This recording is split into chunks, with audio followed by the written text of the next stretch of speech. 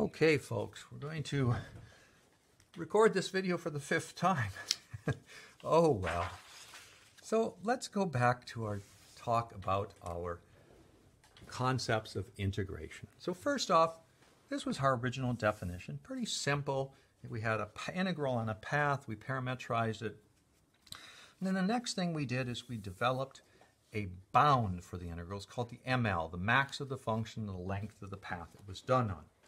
Now, this is kind of like brute force. This is what it means. This is what you do it. It's like saying the Riemann sum is how you do integrals and never use any theory. This is a little bit better. It's especially useful if you want to prove something equals zero because you bound it by something that's zero. Well, then the answer has to be zero because this is a modulus. Now, these are useful. They're algebraic techniques. They're, they're like a tool. It's like a garden. It garden uh, uh, shovel. It, it doesn't do much, but it gets certain jobs done. So what did we do next? Well, what we did next is we said, well, if we discover that on all closed curves, loops that come back to us, if we have a function that all those integrals equal zero, and we never bothered to ask how all of them are zero, but we then proved that the function has an antiderivative. This is how you calculate it. You have a region in which these functions exist. The point lives within that region. And when you have a antiderivative integrals on paths within that region, different than that, those paths is simply the beginning minus the end. It's a little bit more powerful, but how do you prove that every loop equals zero? And it just shows that the integral is directly related to the antiderivative, and it tells us that some things are really nice, like when you can see that a function is, has an antiderivative, certain integrals are nice. That's a little hammer. It can do things, but you know what? Doesn't happen all that often. But when you can see that a function has an antiderivative, it's usable. Then we did something that's a little bit more tough. We had this idea called homotopy.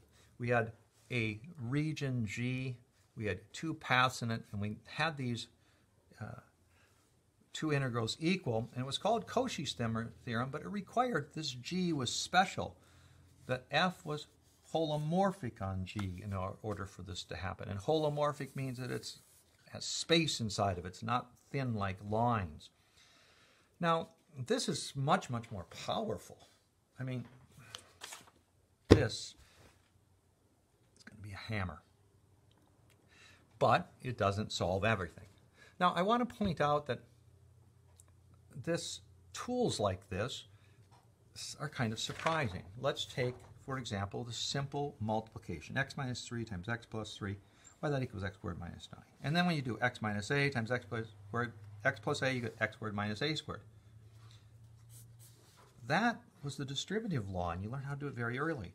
But seeing this is called factoring, and it's more powerful. You're making use of a known fact it's a tool. It's a simple tool. It's an algebraic tool. We can even use it in the complex. This, this tool, this algebraic tool is this one. It's used at the right time at the, for the right job. You don't use it to dig a basement, but you use it to plant your tulips. All right, so now we want to prove a brand new theorem. I'm going to build a better hammer. Cauchy's integral theorem. Now, this integral theorem is really important, and it's used a lot, but not exclusively. We're wanting to learn how to integrate. We want to be effective at integrating. So first, we're going to start with f being holomorphic on G inside of C. And we want to look at an integral on a circle, centered at W, radius R, of f of z over z minus w dz, and we want to put 1 over 2 pi i in front of it. And when we calculate this, we're going to discover, holy crap, it's f of w. Now, w is a fixed value, but there is an additional condition. So we're going to draw a picture of that condition. Pictures are important. So here's g inside of c. It's big, it's thick, it's fat. You pick any point, you can get find a disc that fits completely inside of it. W must be in G, and this circle centered at W radius R must be in G, but even more than that, the closure, which is the solid disk centered at W radius R, must be in G. So this function, f of z, has to be really nice. Now please notice z minus w in the bottom, 1 over z minus w at w 1 over z minus w. It's messed up at w. w makes it 0. But f of z, whatever in the numerator, has got to be nice in a whole region. When that happens, then the integrals evaluation in this form is just figure out f of w. In other words, just plug w into that. That's the answer to this integral. This is crazy. That's a powerful, cool theorem that integrals, when written the right way, have simple answers. So we're going to prove this. Now, I've shown you a couple of tools. I wonder how many of them we're going to use. So first off, I'm not going to prove that this integral directly. Instead, I'm going to subtract those two pieces. I'm going to take, new color, I'm going to take 1 over 2 pi i integral f of z over z minus w. I'm not going to write the w comma r, that's what the c contains, minus f of w, and I want to calculate its size. Now, you know what? The minute I do that, you probably should be thinking ML, the ML theorem. But that doesn't look like an integral. Hmm. How can I make it look like an integral? Uh, well, how about I multiply this by 2 pi i? I'm investigating this value, so now that's f of z minus w, integral over that circle, minus 2 pi i f of w. And we saw earlier when we actually had done an integra uh, calculation, it's in your homework as well, that the integral over a circle of dz over z minus w, if that circle is centered at w, the answer is 2 pi i. So you know what? That 2 pi i I can write as an integral. Oh, it's going to start looking really nice.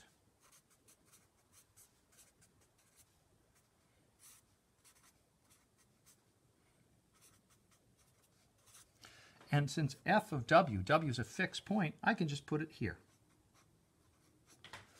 And all of a sudden, this is looking like an integral because difference of an integral, I can just write it this way. Common denominator. And now this is set up for our ML theorem that an in absolute value of an integral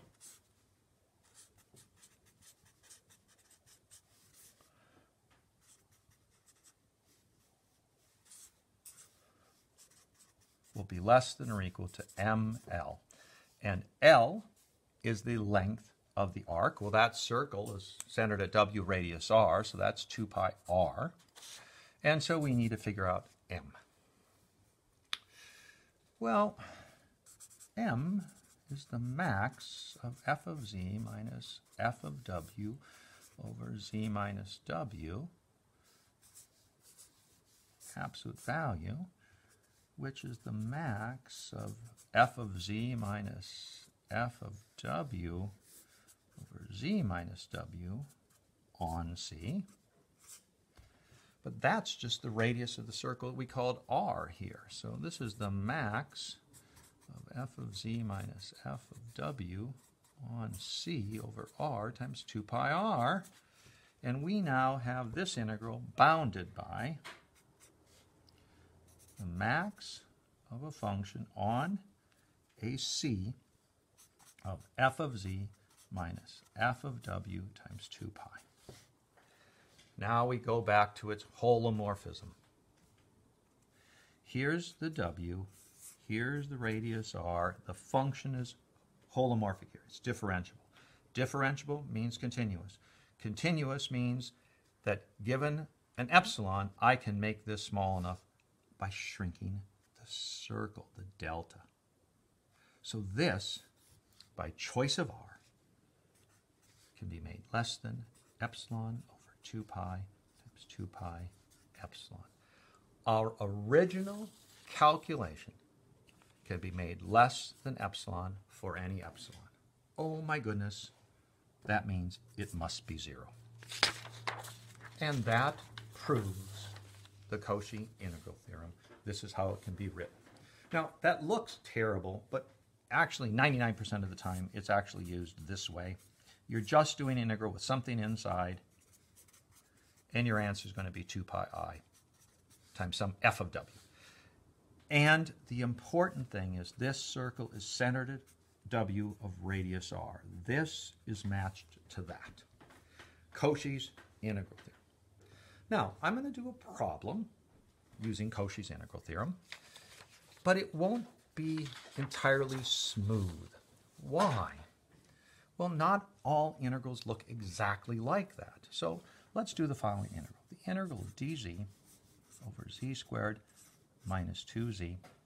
And I'm going to do it on a circle centered at the origin, radius 1. Now, that doesn't look like z minus, uh, z minus 0 in the bottom. So, well, I could do partial fraction decomposition. Maybe that'll help. Algebra is always a nice tool to pull out.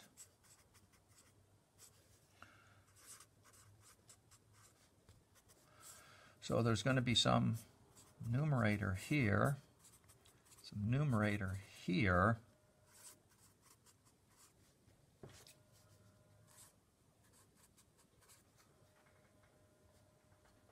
And we're going to be able to determine those values. And uh, let's see, I believe this is minus a half and this is a half. Now, this one reads c minus 0, which matches that 0, so this is screaming for the Cauchy's integral theorem. Since the function minus 1 half is differentiable in a region that contains that circle's closure, the disk, that means the answer will be the function minus 1 half evaluated to 0, which is minus a half, that's f of w, times 2 pi i. This piece will produce minus pi i. But this one, I can't use Cauchy's integral theorem because the circle is centered at 0, but 2 is in the bottom there. So I'm going to draw a picture. Pictures. Very important. So here's 2. Here's this circle. And now I'm going to look at this whole function. Since I'm being asked to integrate a function, and I want you to notice that this function is a very nice function. Only has a problem at 2. This is a region of where it is holomorphic. Just there's some g. And you know what? This is contractible to a point. Or you can say it's a closed loop. Doesn't matter. That integral is 0. And so we half use Cauchy's integral theorem. We half didn't. That's pretty cool. All right. Well, now that we have Cauchy's integral theorem, let's see how a function can be given in a kind of a nasty format and we're able to apply it. What tools and techniques do we have to use to get there? So I'm going to do the integral of dz over, let's say, z squared plus 1. And, yeah, I'm going to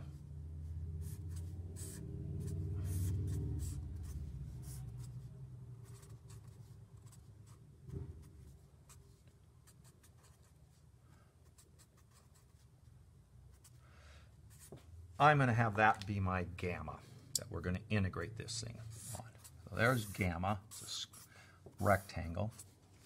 I want to integrate this over gamma. Huh. Bummer. What to do, what to do. Well,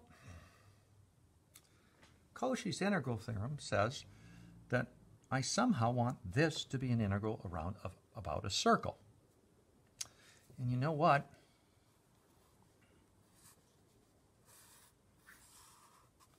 Seems to me that a circle centered at I radius 1 doesn't hit the bad points in the bottom. So the integral of this gamma, and now I have to draw a region where this entire function is a 1 up here, that this, this function is holomorphic in a region, so I can use a homotopy and make it equal to the integral over, over the circle. So I'm going to put a dot here, bigger dotted line here, and say in this region, are we staying away from i? Yes, we're outside of some circle. Are we staying away from minus i? Yep, we're inside, so we have a donut around i. This function is holomorphic in that region. We're not getting too close to i, we're not getting too close to minus i, so it's differentiable. Therefore, this integral, by the rule of homotopy, that gamma is homotopically to, equal to the circle centered at i, radius 1, this is the integral over the, this is the integral over c i1 of my original function 1 over z squared plus 1 dz. Now, I have an i here, and that i is part of the roots of that expression.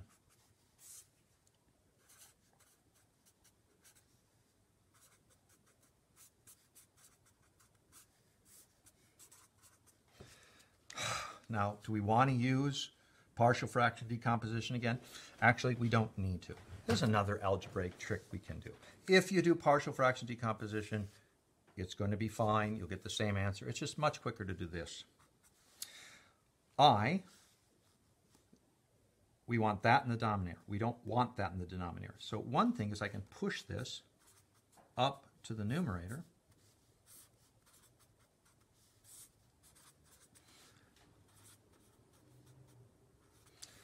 And so now the question is, if we use f of z equals 1 over z plus i, and we're looking at this circle, is it true that 1 over z plus i is differentiable everywhere in that side of the circle, even at i? And the answer is yes. That's a nice differentiable function. So there is a disk on which this function is differentiable. It includes i, but that's okay. Therefore, that's analytic on the closure of that disk. And that I matches that I, therefore Cauchy's theorem can be applied. So guess what? The answer is 2 pi i, and the answer is just evaluate this at i.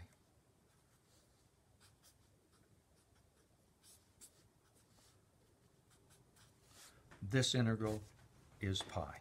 We used homotopy, algebraic trick, identifying a region of a closed disk in which a function is holomorphic or differentiable, and making sure that the, that the integral had the circle centered at the factor in the bottom so it can be solved by evaluation. There's a super cool application of Cauchy's integral theorem. So what happens when we do these problems? So first off, form. We love this form. But that does not mean it's going to solve the problem because you need to get this as well. So homotopy is a crucial part. But also, the integral over a closed path for a simple holomorphic function with no messes up, the whole region is nice, that equals zero is another tool we use. So we use homotopies to change this, and we use holomorphic function over regions to get zero pieces. And when in doubt, grunge, go back to the old definition. Or we use the ML formula. All of these are very powerful tools for.